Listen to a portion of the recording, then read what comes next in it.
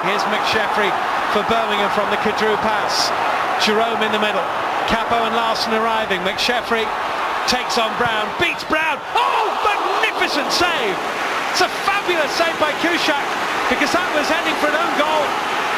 Rio Ferdinand got the last touch onto McSheffrey's shot. And it's a magnificent save from Tomasz Kuszczak. That is exceptional goalkeeping.